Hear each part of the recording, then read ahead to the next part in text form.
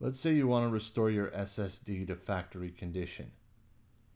Maybe you're selling or trading your SSD and you want to make sure that your data is gone from it. Maybe you want like new performance and you don't trust the Windows installer when it comes to leaving garbage on your SSD from your last Windows install. Here I'll show you how to securely erase an NVMe SSD using Linux. This method works even on older motherboards without official NVMe support. NVMeexpress.org offers NVMe CLI, a set of tools for managing NVMe devices within Linux. We'll be using the NVMe format command to securely erase the drive. Disclaimer, I'm not responsible if you brick your SSD, erase the wrong data, or otherwise damage your property. Proceed at your own risk.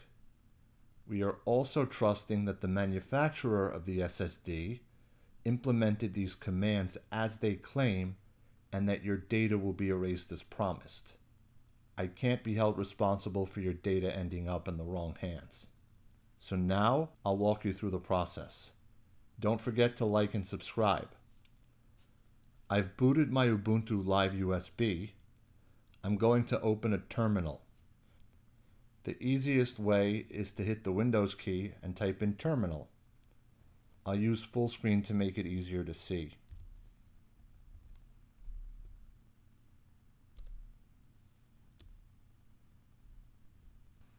In Linux, all commands are case sensitive.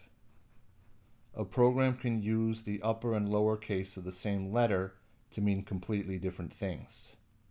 Keep that in mind when entering commands. The first thing we need is root access. So I type sudo-s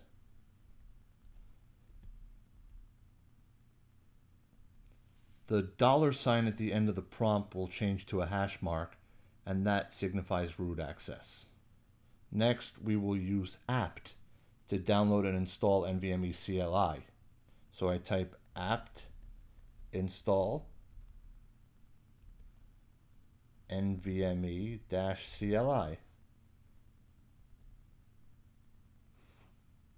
Mm, that takes a couple of seconds.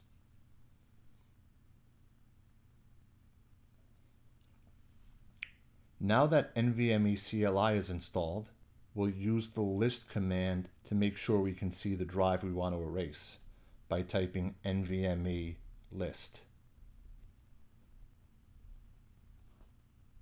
You'll be using the node to refer to your drive with all commands, so pay careful attention to which drive each node refers to so that you don't erase the wrong one.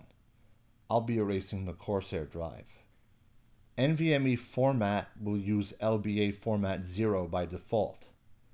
This is what your drive should use from the factory. You can run NVMe IDNS to verify what it's currently using. I'll type in NVMe IDNS slash dev slash NVMe0 N1 dash H.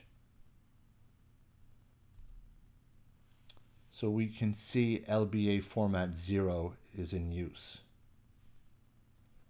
Now let's format with secure erase. Here's where you want to be careful you're using the correct node. In my case, it's NVMe 0 and 1, as I just showed you. You'll use the dash S1 option to do a secure erase the command for me is nvme format slash dev slash nvme 0 and 1 dash s1 if I wanted to use LBA format 1 I could add dash L1 but I'll stick with how it came from the factory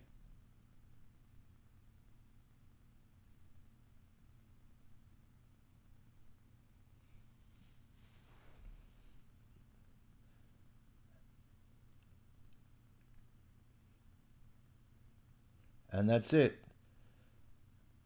Everything is gone on that drive.